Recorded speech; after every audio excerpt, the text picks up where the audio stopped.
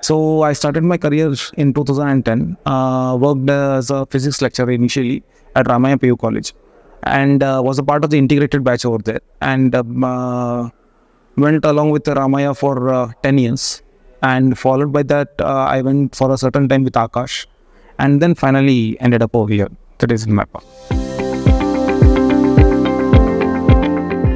Um, basically, throughout my career, I have never uh, reached the rural students. Actually, this was the first time when uh, MyPal started uh, taking an initiative of going across with competitive with that of the rural students. Actually, so uh, when we started over here, we never knew that how actually the rural students used to. Uh, uh, uh, cope up with uh, our, our method of teaching, or probably they will uh, how how is their reactions so it was completely different. So if you uh, tell me that how was my uh, experience in teaching the students so completely different with the students what are there in bangalore or uh, with that of the urban cities i would say. So rural area students are more aspirant uh, they are um, uh, very much studious and uh, have a higher amount of potential as compared to that of the urban ones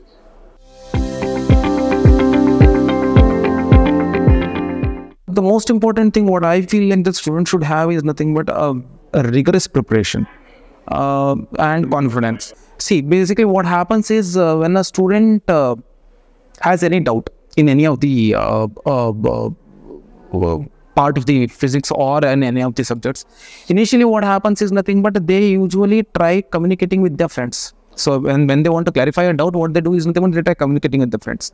And when that doubt gets clarified from the friend side okay? Usually whatever the clarification is that that might be a correct ones or that might be a wrong ones also okay? So we don't want this to happen. What do we want is nothing but the first step of clarification the student should feel is us. So that whatever clarification they get for their doubts it is genuine. So that is how we want to develop. So even if it's a rigorous kind of a work also what we are trying to do is post our normal teaching hours.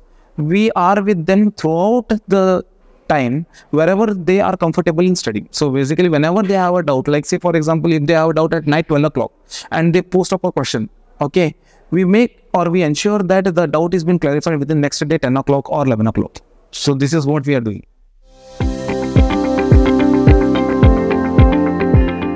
So the first thing is nothing but uh, first we have to create an awareness or we have to create uh, the seriousness of the examinations okay.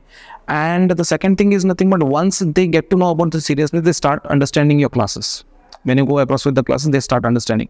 And when they feel that whatever is going on the board or when they feel that whatever is going on the class is something valuable you need not do anything. They'll be just with you unless and until your content is not valuable unless your content is not reaching them.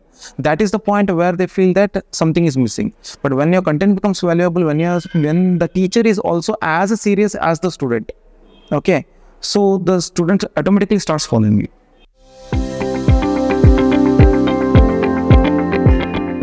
Basically most of the tuition centers or most of the coaching classes how do they run is nothing but they work on the process of uh, uh, maximum marks gaining chapters. So when when we see that uh, probably when uh, the the curriculum starts the first and the second chapter might not be that much hour consuming or not that much time consuming. Possibility is there that the sixth chapter or the seventh chapter is the one which is time consuming chapter.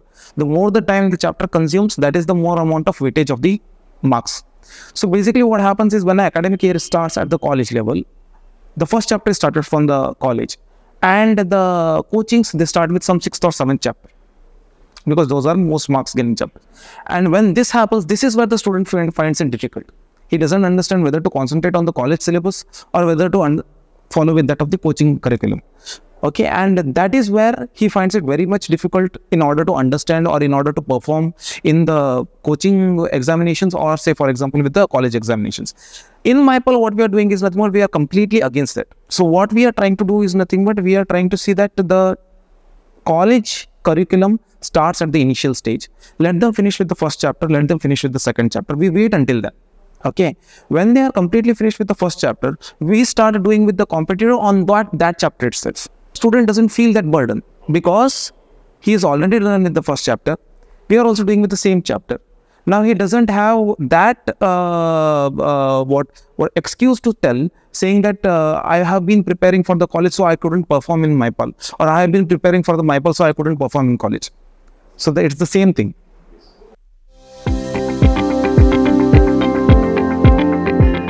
Uh, what do we do is nothing but uh, initially we start our uh, academic plans one month post the college has already started with their academics. Let's say for example they have started in the month of may we will start in the month of june okay? And we'll make sure that we will wind up the whole syllabus by december. This is what we do because the college also starts winding up the uh, examinations or all the syllabus by december okay post December, January, February, and March, these are the three months where the college will be completely indulged into practical examinations, preparatory examinations, final examinations, the centers they have to check, which centers they have to write down their examinations. Probably chances are there that wherever there are here and there mistakes, whatever they are doing, or say, for example, there are some uh, uh, students who are uh, uh, in a position of getting centums okay the college will be trying for their best because they have to produce results out of them okay so these three months we will not actually uh, touch the college us or we will not interfere into the college curriculum. Okay we are completely out of that. Okay so once they have finished their final examinations again until the examinations that is competitive examinations date will again continue with the revision. So which means that we are giving ample amount of time for the college to produce their own results as well as we are trying our best to get the results in the competitive even uh, right from the last year or so, we have started with something called a centum for sure. Okay, where we are open that if at all the college is feeling a particular student wants to get 100 out of 100, but it is not possible from their side, then they can just uh, communicate with us and we will take care of that particular student to get on with 100 out of 100. That is what we do okay uh, uh, last year also there was a student who was uh, in a range of getting 43 out of 70 70 marks paper is for a practical uh, oriented subjects. So it's 43 out of 70 so we guided them with some 13 14 papers where individually tried to work out that where actually you are going wrong. What is that you need to represent the answer and uh, where you will get the full marks. And then we got them to a range of somewhere around 67 to 68 out of 70 so 43 to 67 okay. And uh, usually most of the uh, teachers or most of the uh, college they think that year long if they teach it very much better okay that is where they score. Yes that becomes a part i agree okay. But the whole thing what you should understand is nothing but the valuator at the valuation end he'll value the paper within 6 to 10 minutes of time. So it is not one year of teaching it is neither three and a half year, hours of paper what the student has written. It is that six and a half minutes of window where the student has to impress the valuator. So that is where we are trying to work on so that that six and a half minutes how we can utilize so that the valuator gets impressed by the paper.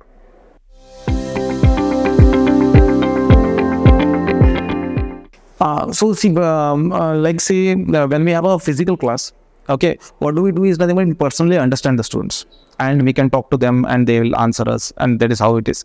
And most of the bondage is created actually post college hours that is nothing but uh, might be we meet the students at doubt clarifying section at the parking lot or probably we will uh, they might uh, come to us in a doubt clarifying section. And this is how it happens in the college level okay? Here also we initially developed with the same process. That is nothing we had a doubt clarifying section where we could know about the students but that count you will have it i would say somewhere around 5 to 6 percent per class. So if you have a class of 100 so five students per class that is what is the count what we have so the success ratio or knowing about the student ratio is very less. Okay. But when you have this particular, uh, uh, what I would say is nothing but intelligence in teaching and through digital model, that would, that is what myPAL is going along with. This ratio has increased completely. Like not five now. Now I know all the students.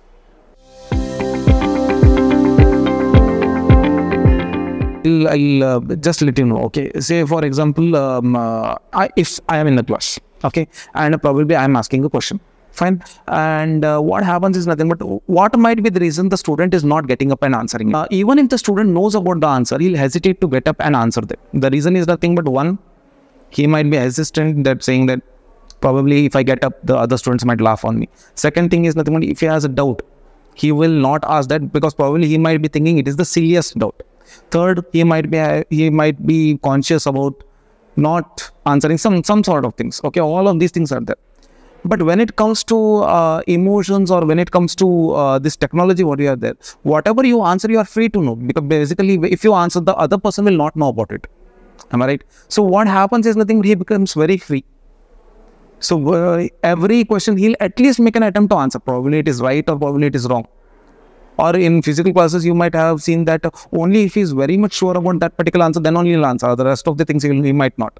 So when the technology comes into education this is the best part. So what happens is nothing but every student shows an interest in communicating. Every student uh, starts uh, um, uh, going across with the classes being along with that the proper sync of the students with that of the classes. So this starts increasing. The more and more amount of their enthusiasm in the classes in, increases this is when we start understanding the students what level are they? Okay what is the problem of this student? Why is only one person answering about the objective type but he is not answering about the calculative type? So where is that he is going wrong? Probably such certain things are there where he might understand the question in physics. Probably he was he is doing a certain mistake in calculation. So i can't blame him for physics. I should blame him for mathematics. The reason is but he's not good in calculation he's not he's good in physics but he's not good in calculation. So that is where i have to tap him not on physics. Correct? So these all things will uh, uh, the, uh, trying to understand the students having a proper sync with them trying to understand them individually these are the things which will come up with technology